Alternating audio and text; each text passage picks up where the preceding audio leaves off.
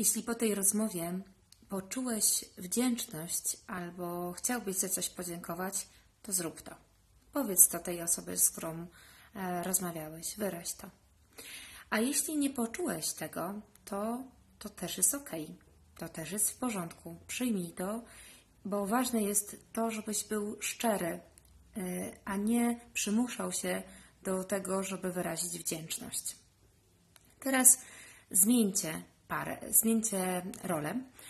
E, osoba, która mówiła, teraz słucha. Pamiętaj, że dajesz uważność tej osobie, która mówi, a osoba, która wcześniej słuchała, teraz mówi i opowiada o swoich trzech mocnych stronach.